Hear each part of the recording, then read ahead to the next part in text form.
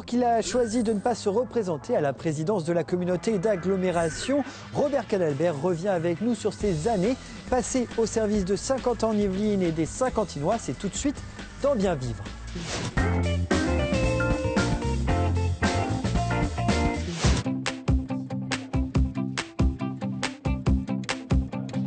Ces élections municipales vont permettre de renouveler la gouvernance de l'agglomération et son exécutif.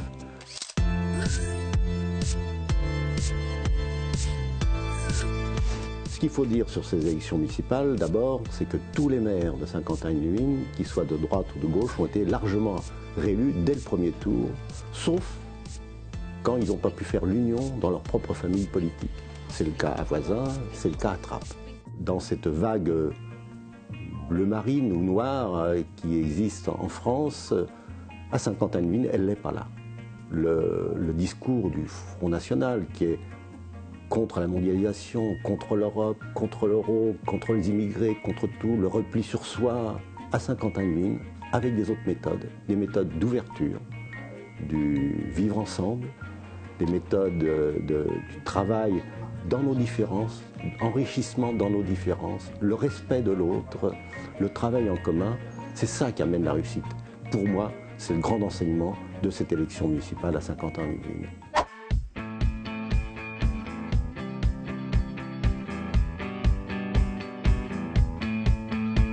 Le bilan à Saint-Quentin-en-Yvelines, c'est d'abord une réussite économique. Une réussite économique qui n'a de sens, ce qui se traduit par l'emploi. Et sais qu'on a encore beaucoup de travail.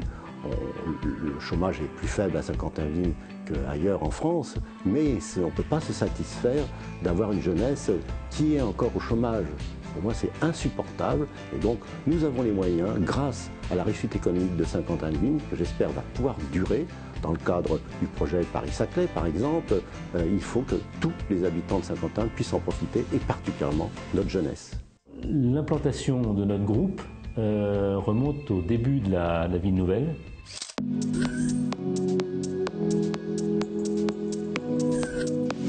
Et puis ensuite, euh, un immeuble a été construit à l'avenue du, avenue du Centre, et puis nous nous sommes étendus dans le quartier, toujours au cœur de l'agglomération. Nous avions quatre implantations et nous avons souhaité les regrouper. Nous venons d'aménager il y a un mois dans un immeuble euh, rénové. Nous avons fait ce choix d'être et de rester à 50 ans et nous y développer parce que nous y trouvons pour nos collaborateurs un cadre de vie agréable, beaucoup d'entre eux résident à proximité, et puis nous avons des partenariats avec des grandes entreprises également implantées dans, l'agglomération, ainsi d'ailleurs qu'avec l'Université de Saint-Quentin. Donc c'est, nous sommes heureux et fiers d'avoir le siège de notre groupe à Saint-Quentin. Nous sommes un groupe mondial, 12 000 collaborateurs, mais le siège et les 850 collaborateurs de ce siège se trouvent à Saint-Quentin.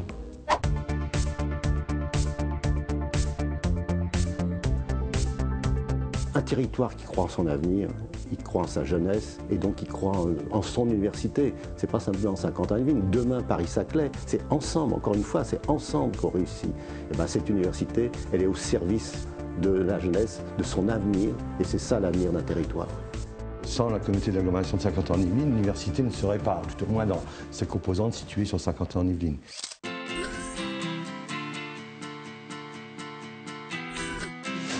l'aide, le soutien de la communauté d'Aglo.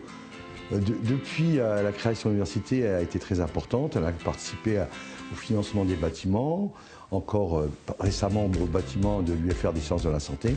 Donc c'est un budget, un investissement financier important de la CASI tout au long de ces années qui ne s'est jamais démenti. Également un, soutien en termes euh, de fonctionnement. En retour, l'université apporte au territoire aussi, j'espère.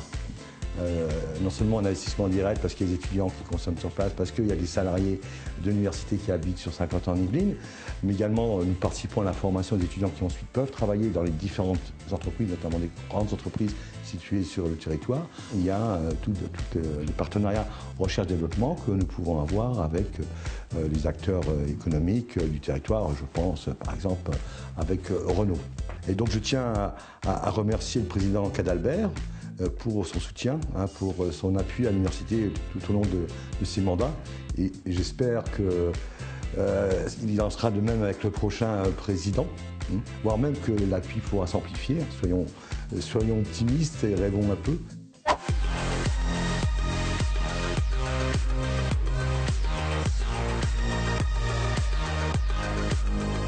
La capacité qu'on a eue dès le départ à mettre euh, quelques moyens, depuis la Maison pour tous jusqu'à la scène nationale, à ce que effectivement la culture nous inonde, nous immerge et nous amène à vivre ensemble dans la meilleure façon possible, encore une fois, en respectant la différence de l'autre, dans le, projet commun. C'est ça effectivement la culture à Saint-Quentin-Yvelines. Moi je suis arrivé en 2005. J'ai été frappé par le, par le niveau d'équipement culturel à 50 ans yvelines C'est quand même euh, c'est dans les gènes, je dirais, de la ville nouvelle, hein, la culture.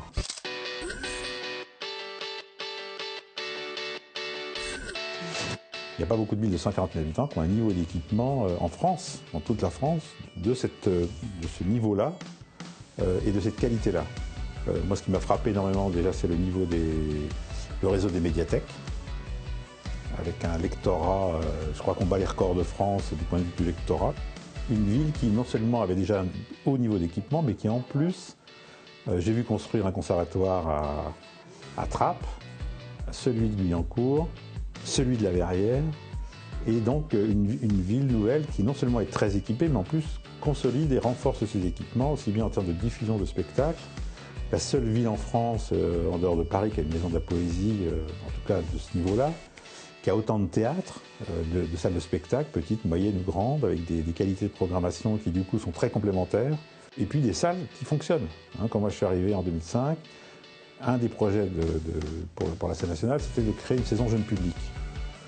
J'ai eu un appui euh, très fort de, l'agglomération euh, pour monter cette saison jeune public au théâtre de 50 ans et puis on a lancé l'idée de la coordonner avec les autres lieux. Tout a fonctionné à fond, complètement au niveau de la fréquentation.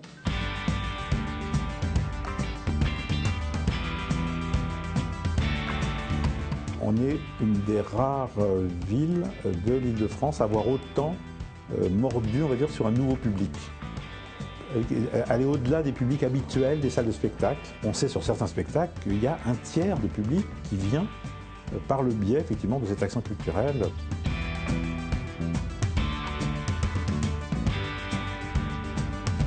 saint en yvelines a eu le label d'art et d'histoire à cause de la, de la, politique, on va dire, d'implantation depuis les origines d'œuvres d'art dans la ville et puis une certaine conception, on va dire, de, l'urbanisme ou de, la qualité architecturale de certains ensembles. Une grande partie de l'identité de 50 ans d'Yvelines passe à travers la culture parce qu'en fait, c'est quoi une ville? C'est quoi? C'est ce que les gens peuvent partager, quelle que soit leur origine, leur milieu, leur, leur fortune, euh, sociale, le pays d'où ils viennent, etc. La santé à partir du travail qu'on a fait sur le développement durable, sur la qualité de vie à Saint-Quentin-de-Livine, avec aussi l'arrivée de notre UFR des sciences de la santé, la fac de médecine, euh, nous avons passé, je pense, un cadre supplémentaire la, santé, c'est pas simplement euh, les maladies et comment on lutte contre les maladies. La santé, c'est effectivement euh, la prévention. Et je crois qu'avec l'Institut de promotion de la santé qu'on a mis en place depuis maintenant plus de 10 ans, pour nous, c'est la qualité de vie à Saint-Quentin-les-Mines et donc le bien-être. Saint-Quentin est un territoire où les familles sont arrivées euh, jeunes actives il y a 40 ans sont restées sur le territoire, vieillissent du coup sur ce territoire, font même venir leurs parents qui explique euh, le résultat des différentes études qui ont été menées.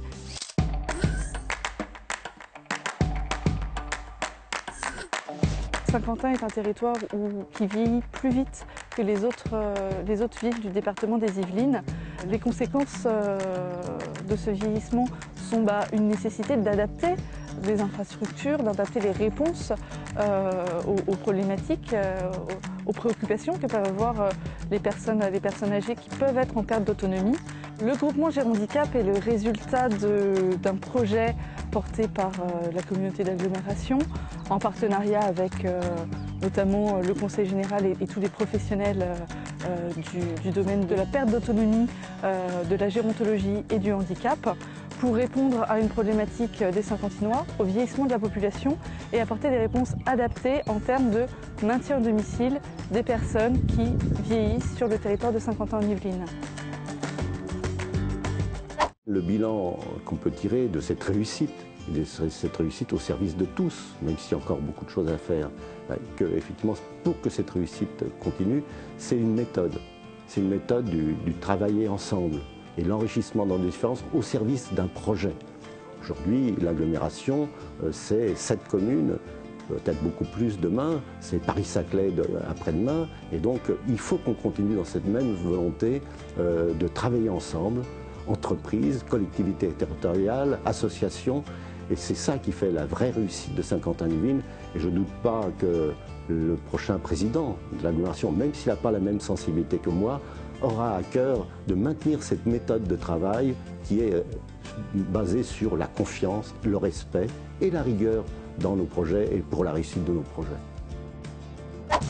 Un dossier que vous pouvez retrouver dans le Petit Quentin du mois d'avril, ainsi qu'un focus sur euh, Mireille Frésil de Solidarité Nouvelle pour le logement et un article sur la meilleure manière de réussir un entretien d'embauche grâce au théâtre.